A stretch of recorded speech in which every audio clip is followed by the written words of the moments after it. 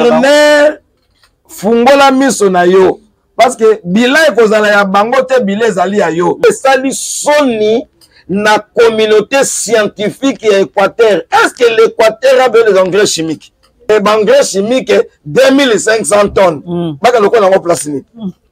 abongisi yango il a aménagé les terres ou parce que ah. l'équateur reste encore jusqu'à présent maman journaliste mm. wana babe yango réserve le poumon même ya république démocratique du congo et c'est reconnu dans le monde est-ce que mbongo wana ke est-ce que ezokota na caisse ya l'étatndenge ministre nini parce que ezali taxe perçu na kati ya butu uh-huh. na papier ya butu ekoti mpe na caisse ya butu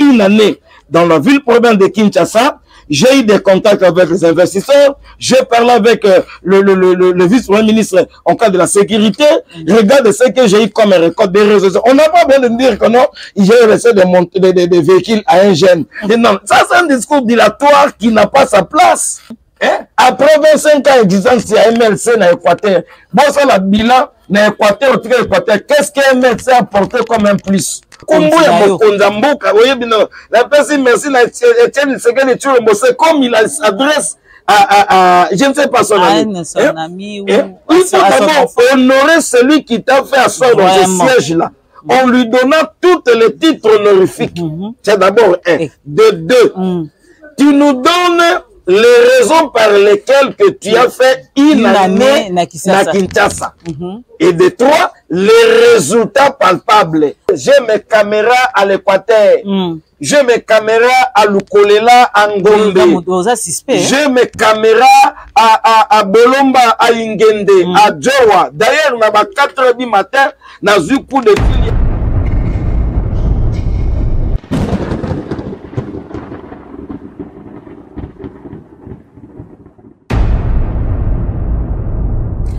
merci na bino nyonso bozolanda biso partout dans le monde mbote mpe na baye nyonso Bopona chaine Ngefa News mpo na kozala informe na oyo ezoleka na mboka na biso Congo. Alors mpo na emission na biso obomesana kolanda euh, emission na biso Predoirie. Na Predoirie ya lelo tozolobelela Equateur en général et na professeur euh, bienvenue tokoyeba vraiment kolobela basujet eza ebele awa kutu depuis ayaki aza na kanda nayebi te kanda nini azala yango alors tokoyeba kosolola na euh, professeur bienvenue mais entre temps bo aime bo like vraiment ekozala plaisir à trop bo aime bo aime ekozala vraiment bien mpona biso mpe na bino mpo ete chaîne ekoka kokoba mbote papa bienvenue Mbote mama Fifi, uh, journaliste oyo andimi sacrifice ya kozwa en charge likambo ya plaidoirie parce que ce n'est pas donné n'importe qui oyo akoki kondima bato baya koplaide bacause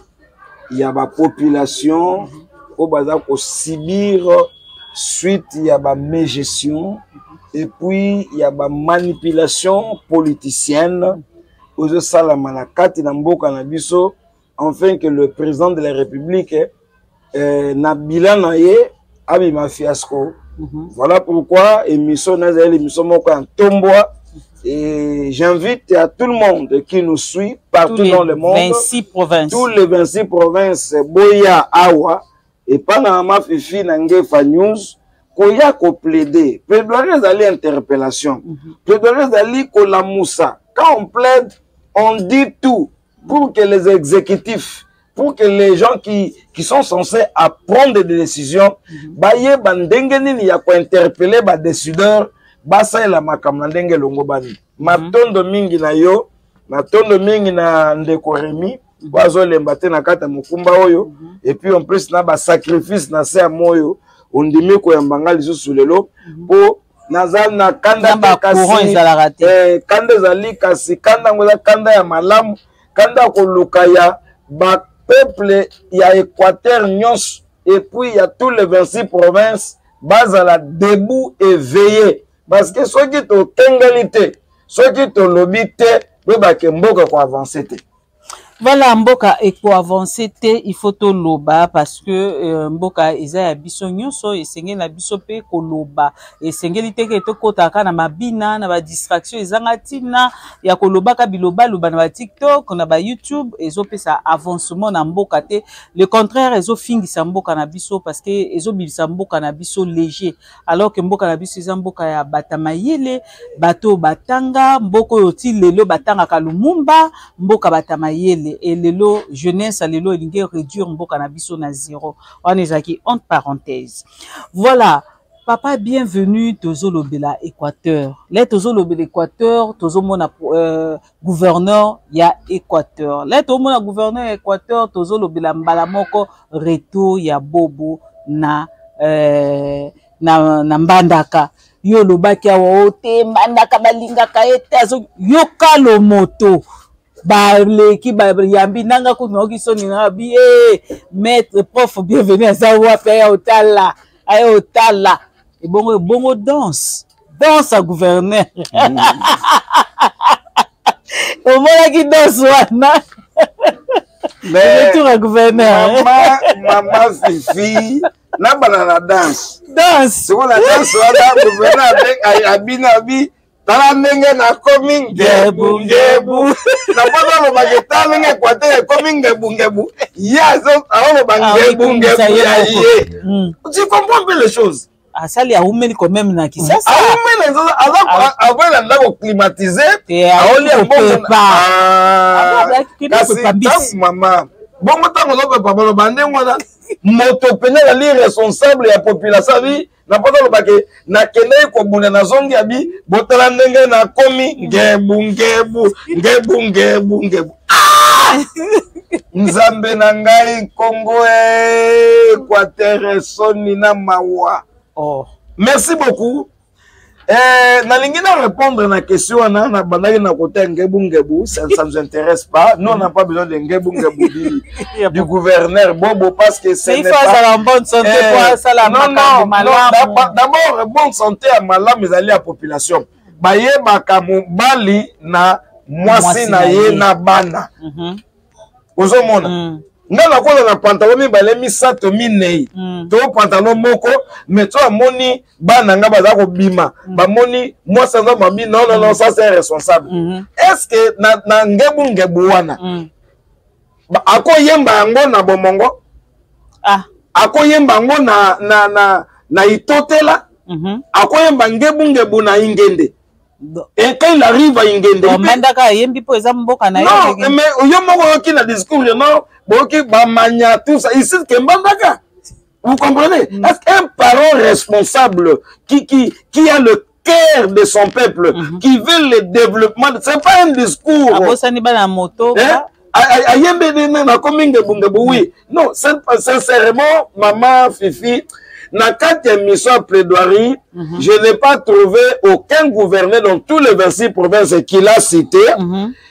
qui, qui, peut, qui peut euh, ramener un tel discours. Ça, c'est d'abord un. Mm -hmm. Il est le seul parmi les, tous les gouverneurs à 26 provinces qui a pris beaucoup de temps à Kinshasa aye kopepa c'est comme hier moneki na kinshasa nde sika baakopema makambo sur l'invitation du Malobi, sous l'invitation du premier, des vice-premier ministre, le ministre de l'Intérieur.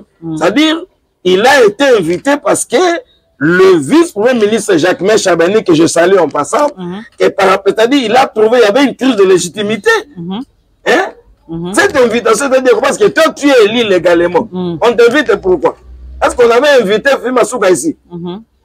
non non bagouvernement mosusu nayebi na te mosusu nayebi te mm. alors pour te dire bagouvernement mosusu te ah, bamosusu nayebi te mm.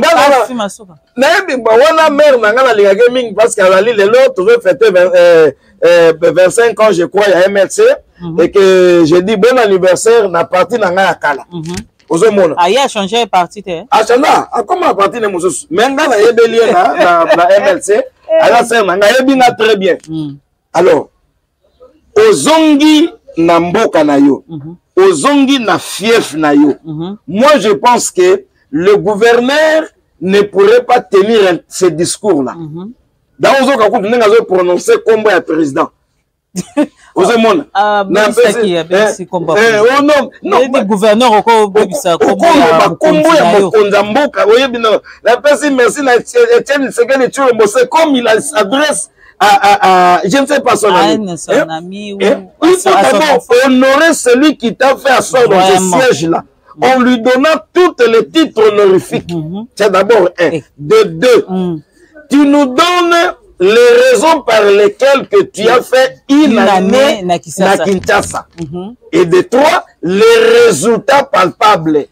bon au fait peut-être ake na profond te ou aboyi kozwa bato temps mpo abandaki deya koloba ke bato baumelaki na kozela ye alors il voulait être bref yango wana ke alobi ke akendeki kopepa déjà ça s'entend ah. que euh, soki bomoni ke naumelaki ça veut dire que mpo nakendeki koluka bamoyen mpe alobi bamoyen yango nini bacamion baye nango oh mpona kosunga peuple makambo ekoti klisto nzambe na bikamwa me bisiko bino bolingi moto yango asala nde eh. aye na bakamiona posa ya bakosisa baresultat banzela wana posa ya camion te camion nini oh.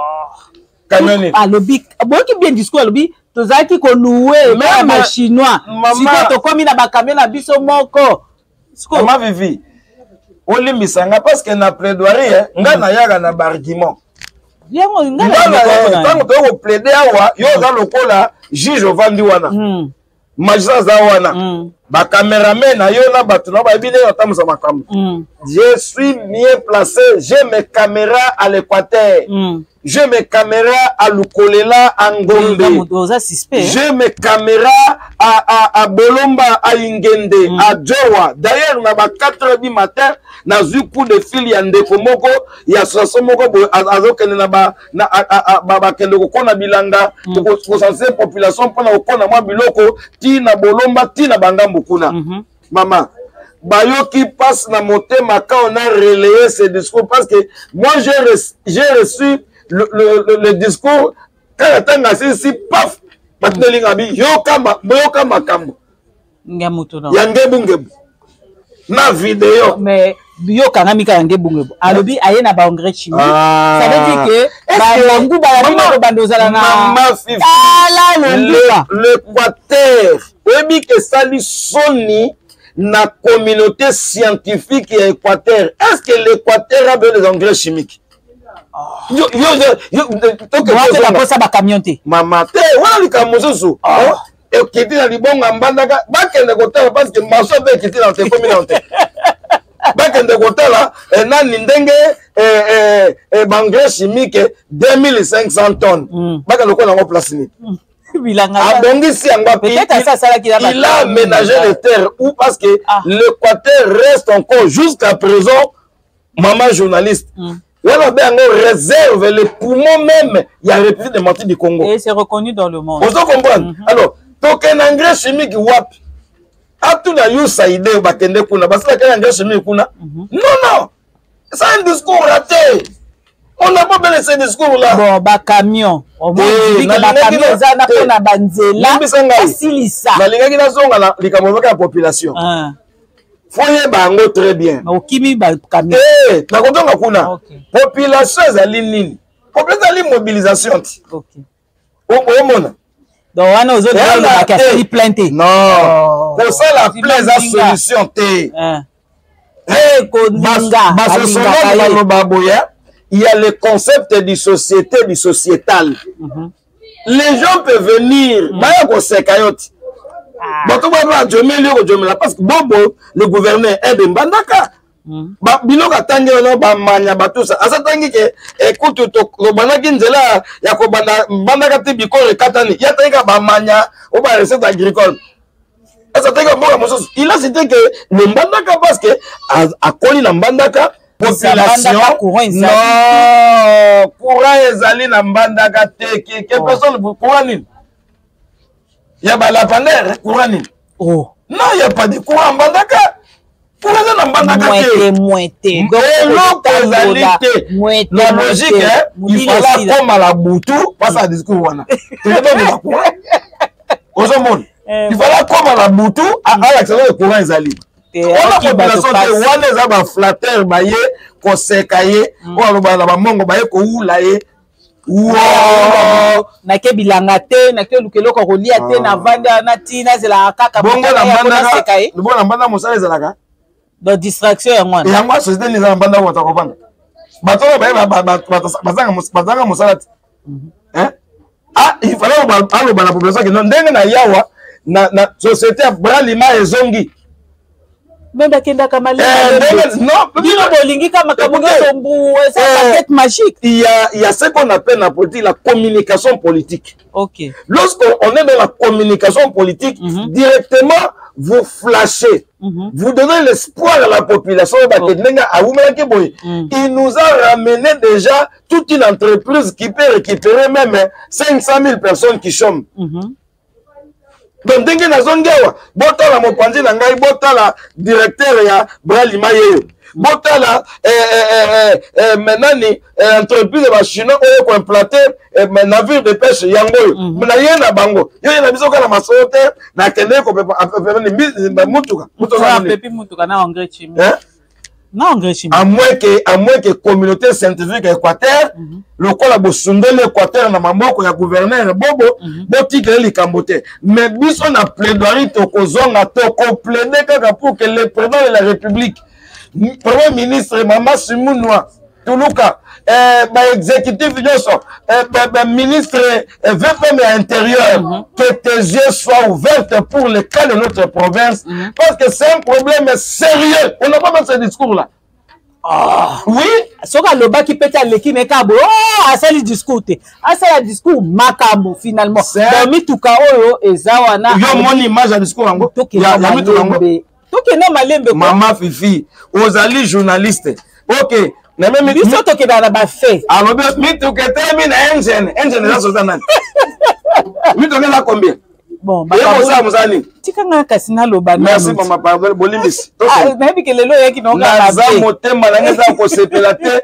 lokola nazozila ye asala discours na ye ya investite totala ye mituka etami na engine nalobi komba engine nayebi te okosote engine ezalaka nayebi te osekisaka na makasi esili nalobi boye tozalaki koloba misala ya banzela ezosila te ye moko mpe alobeli yango na discours na ye mm. soki misala ezalaki kosila te ya kobongisaka banzela mpo toyaki kodefa koloue mm. mituka bachinois mm. mituka bachinois na ça veut dire que soki abeti calcul elia mpe mbongo ebele mm. mais lelo na bopepi na ye bwa mbisi na ye outaki na kisasa une année mm. azwi bacamion oyo ekosunga bango basilisa misala ya banzela eza esengo te tosepelaka banzela omoni yango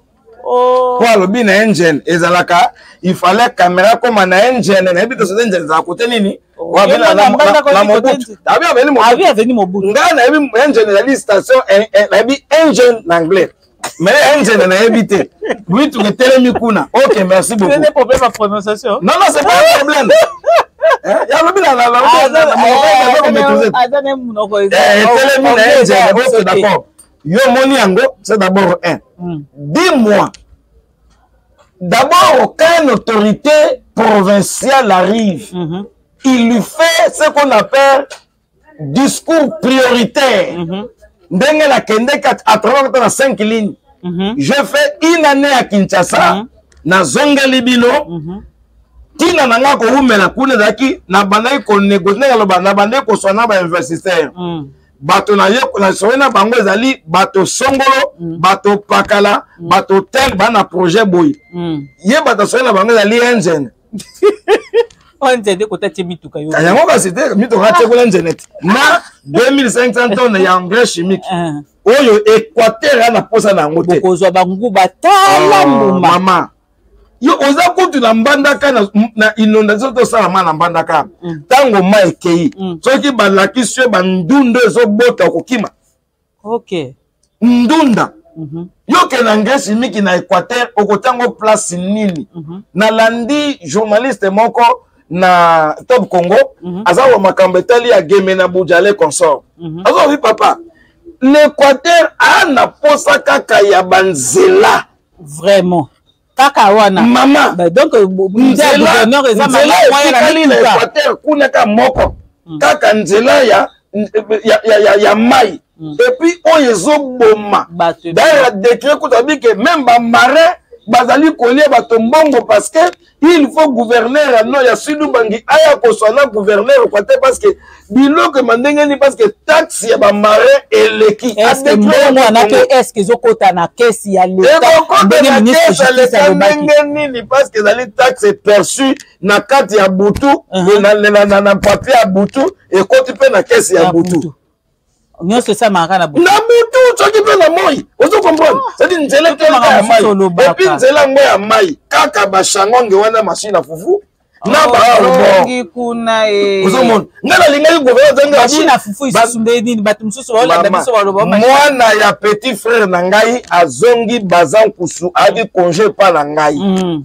ayebisi ayaki na machine ya fufu parce que nazalaki tante nayaki na posa bamati na balinaire moko ezali na si motere ya machine ya fufu ya shangonge abi papa kulutu ndenge nazali awa moyekutnaya matelemoze parce que na nasale machine ne ozokoka neti bato akufa so eloko ya ndenge eza kolenga na yo moko mabaya ekopanzana bato azokufa combien donc eza ah, naoyeba meme pas nzela ezali likambo yokubela likambo ya le gouverneur donc nzambele une politique nabe émission elakaki eh, leadership moko oyo eza na vision claire mhm. nakendeki nazongi mhm. bata nawumeli awa j'ai traité avec telle entreprise nalakisi ye baavantage na biso biloko mosusu mpe eza wana papa euh, ah, eza basecret ya, ya gouvernance donc moto akoki kobanda kolivre makambo nyonso kaka boye te oyebi na ye awa epa na yo lelo lisusu eh, nakimi kutu mbangu natiki biro na ngai polele koencadre ba baétudiant mpo na kokona semence ya kokota tolobi na ye mbango mpo na nini mm. tobenda deya matoi parce que toyoka na discours ekobima parce que soki bolanda émission nayebi discours abongisi wana bato nini ya poni mpo na baanime vision na ye na makambo alobi engrais chimique na mituka etelemi na ye nzeni mm. voilà wana ezalaki nini bo tolinga mpe ndenge ah, oya ko oya koatake lisusu le na otuma lisusu makambo ya cahier de charge mama siko ero nde akoki kosala deja lokola osala discourse ya bolimbisi nazokata maloba te ozali mama journaliste moko umeli na mosala oyo dayere napesi yo longonya mingi mpo nayoki na lokito ndenge nini eh, babriefing obetaki makambo ya conscience na kati ya antenne a mm, mm, tozala bato mhm. ozosala mosala kitoko nzambe akosunga yo nakanisi bondela nzambe tokokota na kati ya makambo yango mm, plaidoirie eza wana mpo na koyebisa bato te biso toza bacharlatan te nga nazali un homme scientifique aiguise mhm. naliaka mbongo ya moto te nasepelaka na moke na nga oyo leta kongo nakopesa nga eloko nini mbongo ah, mama mbongo nini bakopesa ngai ah. ozokomprendre tala eya na bamanteur mosusu politike tokomi koenvie lelo mm. olinga kosala politike ya nzala me otali baconsa mutanda olobi mm. nonnnnn mm. otali bato kaka baminda eli olobi nono ça sont des modèles des gens akoti alobi non population ya congo eza na problème sérieux ya justice mm-hmm. totuna tokende tozonga mm -hmm. likambo ya cahier de charge elingi kolakisa il, il faut soit na bainvestisseur mhm. oyo balingi bakota na équateur mhm. je vais laisser une trace dans mon province mhm. et puis batrace ya liboso nali kointerpele mpakwa na ngai na pokwa lelo ta lobi trace ya liboso na équateur ezali nzela na courant bozoki nzela esali malamu mhm. bino kokoma na kati ya mbandaka ekoya kisasa soki lotilike ezali mhm. bainvestistere bakokima te parceke meme lelo na mbandaka connexion ekomi na problème keba keba depo obandaki kobenga biso toza na bafamille na mbandaka okobenga ndenge ezali na poso mata na nzete mama na ngai meye aza wana ezotala ete azokomaka yango video donc mosi ezobani ya nini botala bobona nsima bomona sikoyo ndenge tanga bini ngebungebu na soki olobaki nini basalaka kote boni eloko nini yo osali tolata ndi topesa na boko basalaka koboni eh, ye te basalaka kote boni video ya nini bozongo na arrière vous trouvez les intellectuels équatoriens bamongo basengele bikonda bantomba bangombe bamwe mhm. balibinza bavandi kimia oyo batanga eh, baprofesseur oka bamoïse mph na lumbashi bozotika équateur ekenda boye pourquoi mhm. eh, après 25 ans existence ya mlc na équateur bosala bilan na équateur otika équateur qu'est ce que mlc apporte comme un plus le produit ya mlc yango eboti baboko ozo koma biloko yango donc oboti ye on dirait motu moko soki malade baconsensus politique ekofaire développer baprovince te okay. province etongamaka na bahomme politique na bato bafaire économie ya baprovince na bango yanga tuna ko mokolo na bi mm. tunelanga motuna na tout le cadre bato tu bazwa mbongo na équateur bamongo baekonda bantomba basengele bankundo bata makanda bangombe tu otonga nini epai na yo bazolandaka kaka ono matata mpoli matata mpoli akozo chez lui vraiment voyez le seul université moderne université mapon mm. ngai nazalaka kuna na nayebi te eh, bapasalela mapesi te mm-hmm. ozomona bareflexionne bastade ya biso equateur obeta bana mpasi nini tuna ekole bana equateur mpe balingaka bale bazali bazali ekipe na biso kombo na yango molunge molunge mama na ngai molunge na molunge yoka de akombo ah sikoyo yebisa ngai il faut un leadership responsable mm. bo bakomi gouverneur aza yana atindiki ekipe na ke wapi eke wapi voilà esika nini bana coupe nini molunge kana molunge Ah, bikombo mpe bakombo mpe elandisama kasi yo yeye change kombo ozomona donc pour te dire que na cahier de charge ya gouverneur il voulait donner un briefing à la population qu'il est venu l'accueillir mm -hmm. que j'ai fait une année dans la ville province de Kinshasa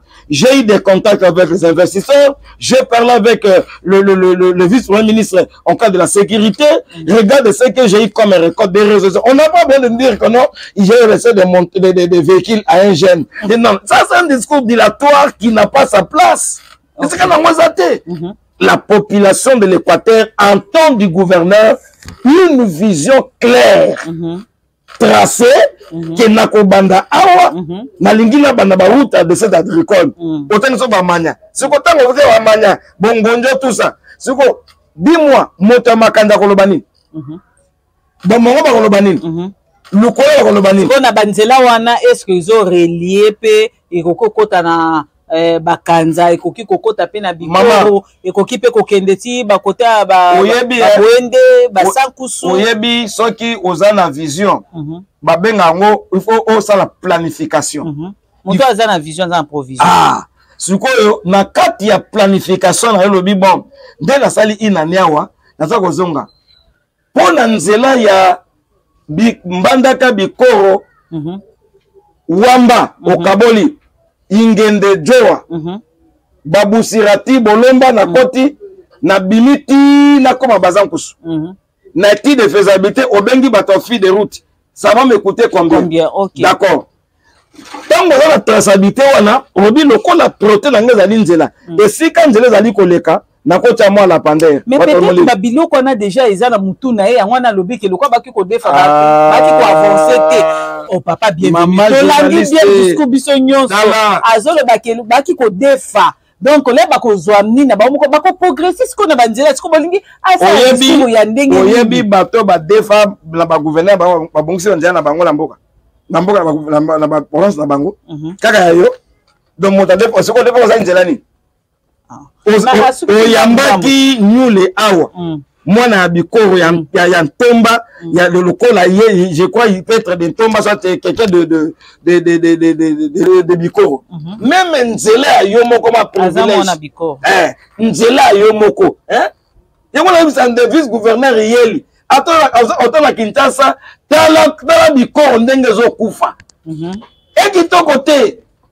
tozomona mhm. baautorité tout ya équateur bolamusa miso na bino soki botiki équateur na maboko ya gouverneur bobo peut-être il peut, peut avoir une vision mais il doit être entouré par les dinosaures ah, voilà. les gens qui, qui n'ont pas une vision les gens qui ont une visée les gens qui ont venu chercher pour leur ventre mona ata mwana motuka na vi na ye te ata mwana mpe na vi na ye te akoti na gouvernorat ayei koluka intérêt ya libumu na ye yataka kotonga mwa ndako moko boye yango tuna bango batonga bandako nini epai na bango mhm. bana eloko nini mhm. ozomona mhm. biso tozwi nao te oyebike makambo ya équateur oyo eza lelo te eza depuis na epoka mobutu nayebi histoire moko baparent na biso baraconta biso ke mobutu azwaka vraiment baleader oyo ya équateur atiaka tiaka tiaka après euh, ba 20 ans de pouvoir oyo bazalaki nango alobi bon mikolo oyo tozokende biso nyonso na, na équateur mais bango ele balala na bandako oyo bango batongi bake kolala na bahotel mobutu ayebisi bango na discours alobi donc na kati na bino ata moto abongisi mboka bato mama fifi nazoyebisa malade wana etikala epa na biso même les gens qui vous crient ici dans les télévisions o oh, ngai songolo ngai pakala mm -hmm.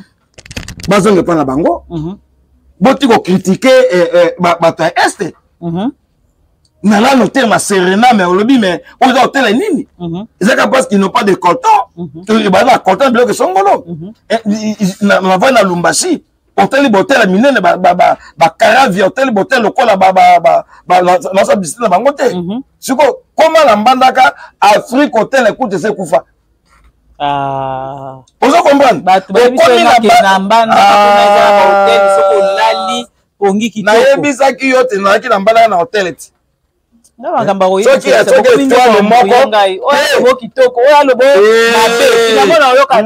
naza moto nakendeki etale te soki etoile moko batia moustiquaire boye ah, courezaliteasi ya yesutosalaki emission na ngefa lobi awa alobi bahotel eza kuna nini abibaaaventurier oyoka nani hotel mwa bahotel ezali ya mwana mwasi moko na mwana ye kuna mbandaka mm. na motel ya mokolo ya pombo oyo eza kuna mwa bien mm. ezali wana eza bahotel te soki otamboli bamboka mosusu mama non soki wana baprovince mosusu hmm.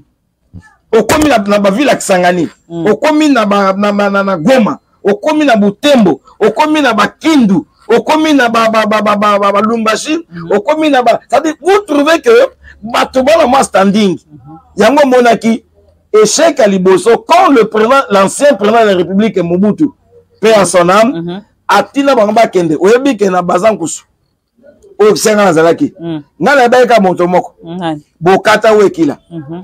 asali mwa prodapa esili aye kosala mwa izine ya mafuta na bokakata mm. lokola te yango na maboko ya bayakuza bato wana na vision te na bangombe tu brr natokende zero wow. ozo comprendre mm -hmm. donc moto oyo babenga oh, leadership ozongi na mboka na okai koinvestir mm. bate bango baye kofana na kisa banoka mboka na bango mm.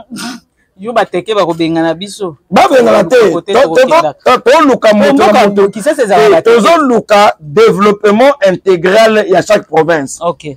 mpo na koevite exode rural na kati ya ville ya kinshasa mais tokomi yango déjà voilà non une mauvaise politique une mauvaise politique mhm. ya biso awa eprovoke exode rural parce que bato ebele bakomi trop plus na capitale ke na intérieur ozomonasala eza kuna te eh. bacourant banini eza teactivité eza nayebisaki yo na libandela awa gouverneur ndenge ayaki awa mm. alingi atuna motuna bi projet batikaka ke courant lo oyo ezokende eh, eh, lumbashi en passant par bandundu mm. or ville ya bandundu mpona akoma na, na, na, na mbandaka mm -hmm. mpo akota na équateur ya faux problème mm, okay. ozomona mm -hmm. est ce que na baprojet na ngai phare je pourrais aussi aborder sur ça nakomi na kotika elembo na ngai natikali bobo immortel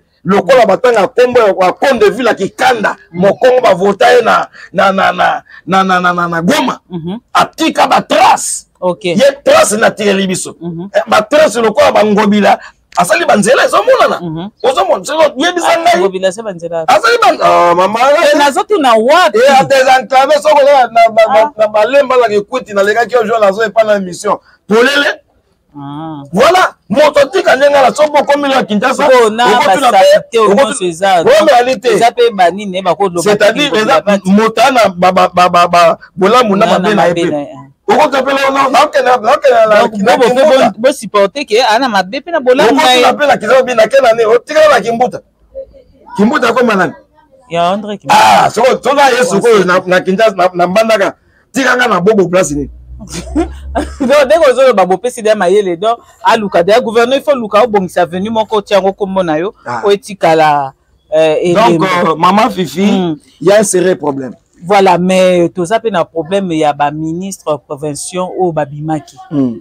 mwa banungunungu wana mama baministre wana oyo baministre ba provinciaux baza na kati équateur bazoseme trouble moko terrible mpo na nini baza kosala baaffectation surtout na secteur ya enseignement uh mhm. -huh. na secteur ya santé uh mhm. -huh. na secteur ya environnement bacreye nepotisme clientelisme na tribalisme lokola bayebi ke baolongwa kala mingi te alors gouverneur fungola miso na yo parce que bila ekozala ya bango te bila ezali ya yo mm -hmm. na na témoignage moko okay. mon frère azali coordonnateur ya baekole moko protestante ayebi nkombo na yango te mm -hmm.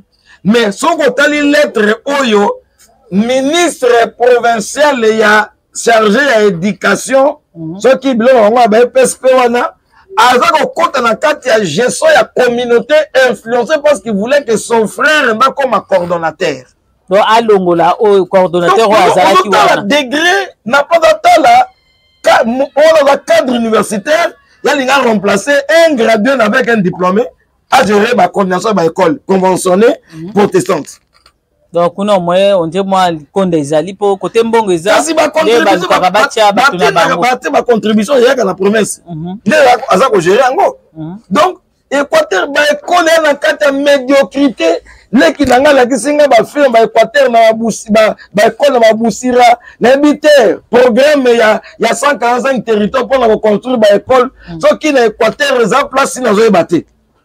abi mon grand frère soki otali baekola nde baetonga bato bana bavai na kati ya bagbagba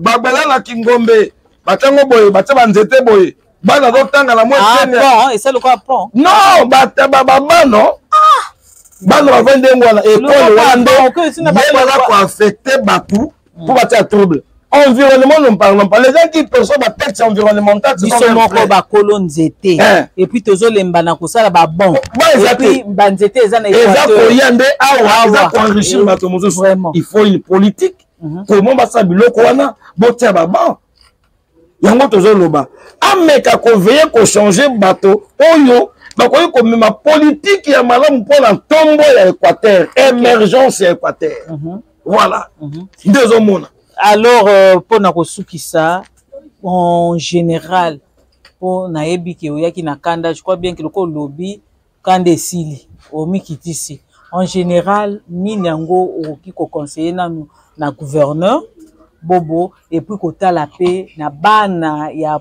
ya équateur nyonso mpo biso moko mpe badialelo na biso nde ezoboma biso ndenge ayaki yana so bato bayaki koyamba ye te yanga ayeba ke a ah, bano balingi nga lisusu te mele boye koyamba ye bozosepela bobeta maboko ayebi kaka boza na nsima na ye message nini okoki koloba merci beaucoup euh, mama euh, journaliste fifi matondo na yo Je voulais adresser à mon gouverneur, je l'appelle mon gouverneur parce que enfin. il est euh, le gouverneur de mon province que j'aime beaucoup, euh, gouverneur euh, Bobo Bolombo Boloko Bolumbu Dieudonné. L'Équateur a un sérieux problème. Problème na biso ezali biso ba leader ya Equateur ba notable intellectuel ya Equateur tolingi toyebisa yo boye ne pensez pas que tous les vieux notables batikeli yo Equateur osala yango ndenge olingi non non on vous a prêté une confiance cette confiance tolingi tomona na kati na yo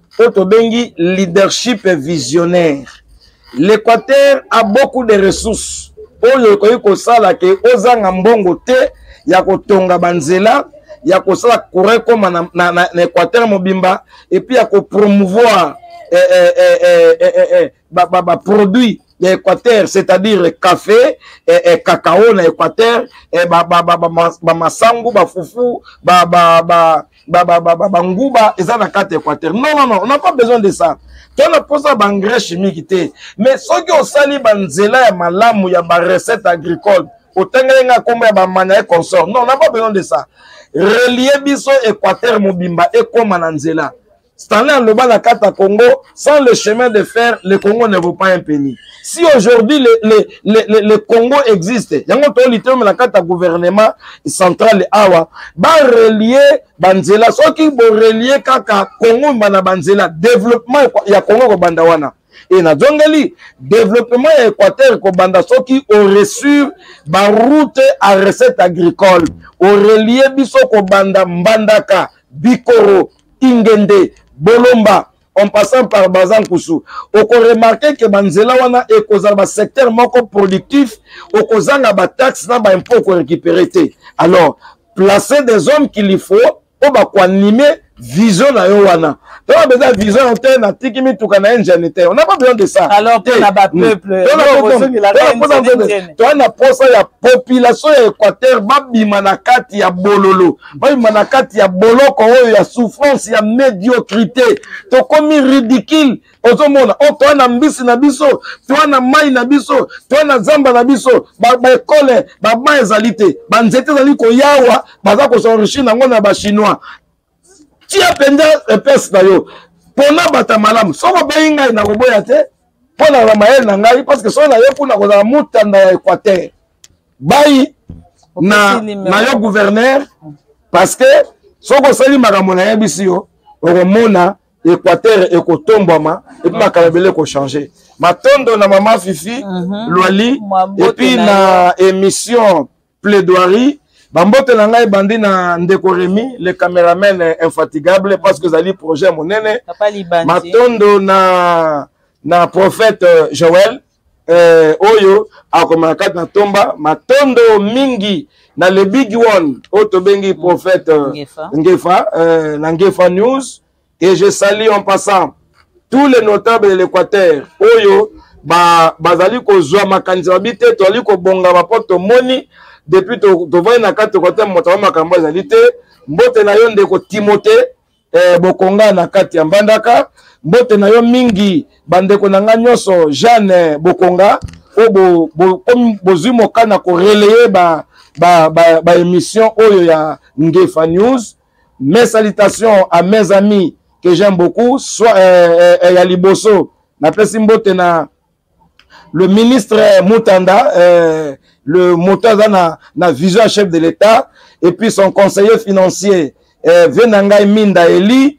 Je salue ma femme Niclette euh, euh Kingidi, euh, Sika Moteme Pemaka, et puis mes très beaux enfants Mibale na Lingaka Mingi, beni et nathan ainsi que la famille mosumbe en général ya baza nkusu matondo na bino botambwisa makambo mpo na mokili etambola bien merci beaucoup merci merci malgré na bambo topesi nga te esa nango eloo te merci tomona mbala nsima soki nakoyamba yo tokomona kaka merci na professeur et merci na bino nyonso oyo bozozwa vraiment libaku malamu ya kolanda baémission na biso tolobaki kaka te ke toza kaka na bato mibale oyo tobanda kosalaka na bango émission noyo etali bredoirie non toza na 26 province esengeli mpe na, ba, na bato oyo baza mpe na souci ya baprovince na biso oyo évolue neti baprofesseur bienvenu euh, monsieur nure oyo azolinyule oyo azolinga mpe province équateuse évolue tozwa mpe bato ya ndenge wana baprovince nyonso oyo etikali soki euh, etikali 25 mpo tozwi ka équateur donc totikali na 25 province oyo bato mpe bakoki koya koprede mpo na province na bango mpo eleka bien banimero na biso eza wana soki bobengi biso tokoya kote nyonso bozali eza kaka te ko bino bose deplace biso tokose deplace tokoya kote bozali soki boza mpe na baprovince wana boza mpe na mposa na biso bofute biso kaka biye toye mpe kaka baprovince wana tosali émission tolekisi yango ekozala bien ke baprovince na biso eyebana mpo bana na biso mpe ebele bamosusu bayebi te ke toza na 26 province alo na kati ya baprovince wana toza na baterritoire alo baterritoire wana toza na bavillage ba, ba alo bana ifo bayeba babiloko wana nyonso ele toyekolaka kaka bahistware ya mindele toza mpe na histoire na biso oyo esengeli bana na biso bayeba mpo ete kongo na biso ekende liboso merci na remi merci euh, na prophète joel merci na bai nyonso bozolanda ye merci na ye mai ngefa oyo prophète ngefa oyo apesi biso espace oyo mpo toyeba kolakisa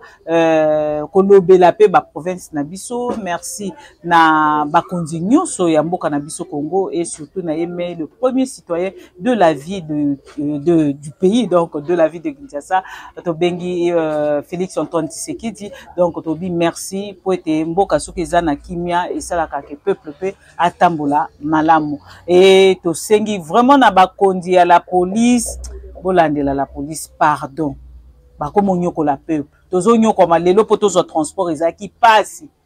la police ezonyokola biso mpo te leba ozokanga bana bamoto bobotola bango bamoto na bango bango leba kosala greffe nyonso ezozonga epai la peuple peuple nde moto esouffrir eza bino te ah, wana ezalaki vraiment mwa parenthèse vraiment bakonzi ya la police bolandela biso mpo peuple tozobika kaka na bino mpo babi basoda baza na mpo na kobatela peuple na babien na bango mais le contraire te Voilà, merci et à ma fille chérie Esther Loali et na baleki na nga nyonso oyo nyonso ayebi aza na kombo Loali na bosani te euh, papa na nga colonel Loi, José Loali depuis euh, euh, Matete na bosani te papa euh, Isidore Loali et ba Loali nyonso hein, ba famille bofuki nyonso kote bozali bambote tokutani prochainement na numéro mosusu bye